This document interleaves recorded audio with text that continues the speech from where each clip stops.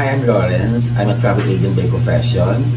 And nandito ako sa Richard de Manila since 2019.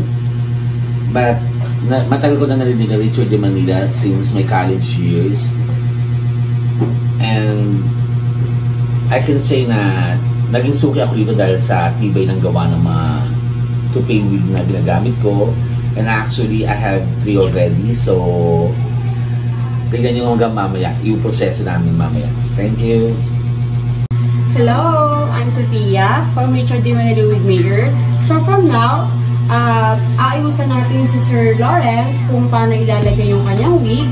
Nakita niya sa video na to kung paano ko siya uh, aahitin yung pinaka-spot niya, paano ko i-install yung pinaka-wig niya, at kung paano, na, paano natin siya i-hairstyle. Nakita niya sa video na to na ang pag-i-install ng wig ay napaka-easy lang kung tutuusin habang inaaral niyo siya ng matagal. Pero sa una, mahihirapan kayo. Pero habang tumatagal, matututunan nyo rin kung paano mag-install ng hair to pay for men.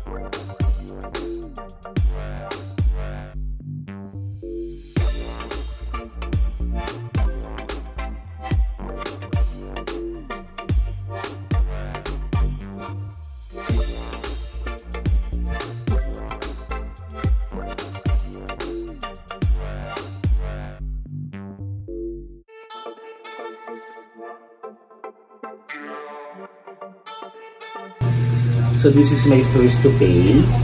And I've been using this for two years. And this is my fourth one. This is the new one. Uh, para i-fit muna sa akin. So talagang what I love most with Richard Di Manila, talagang finifit na rin yung At yung tagal talaga ng gamit, sulit. Si, da, si The Scalp ko, until now, this is for two years. Pero buo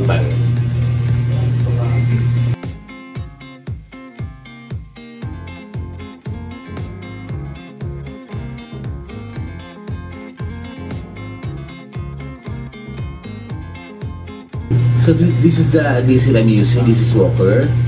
And nagtatagal to for 30 days sa buko. And I prefer yung ganito kasi very active person ako. So mas matagal siyang makapit. And this is the original Walker.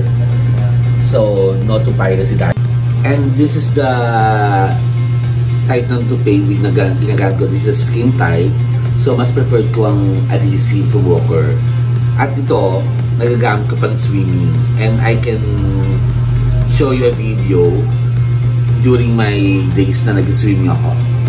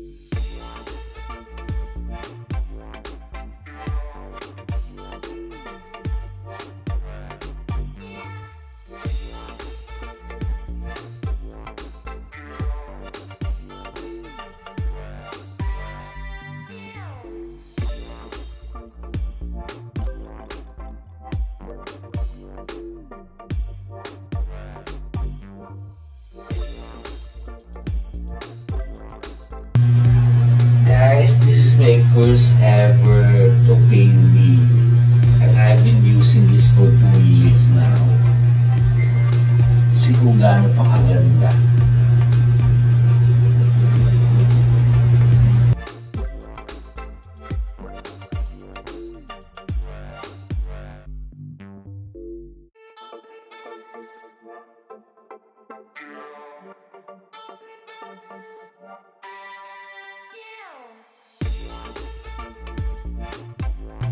And thanks to Richard Di Manila for boosting my confidence. At the age of 48,